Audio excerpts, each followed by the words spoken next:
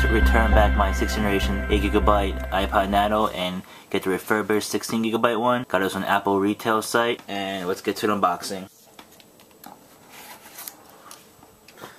So the same price as the actual 8GB one is $149 and this is refurbished but since it's so tiny you can't really tell and I believe it's the same I mean it's the same exact as new it's just been used and fixed up or maybe someone returned it and that's what refurbished iPods and Macs and iPads are exactly so it shouldn't be damaged it should be just as good as new for the same price as the 8GB one comes an actual bigger casing than the small retail packaging as you can tell. It says iPad on here.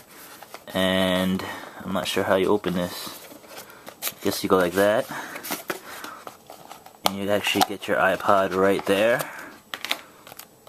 And what else you get in here? You get a little baggie with goodies in here. A USB cord, which is brand new, which is very nice. Get your starter guide here, all that crappy shit that no one reads. And you get your headphones. Regular headphones, people. Remember, regular headphones, and they're also new. And let's get to the actual iPod.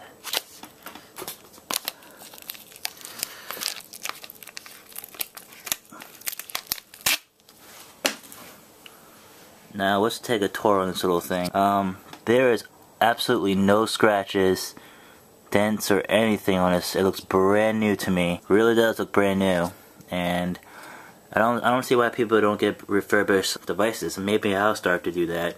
But it looks brand new to me. Here's the capacity I can show you. It's 14.9 gigabytes. I can see that right there. So anyways, that'll be unboxing for the iPod Nano 6th generation 16 gigabyte.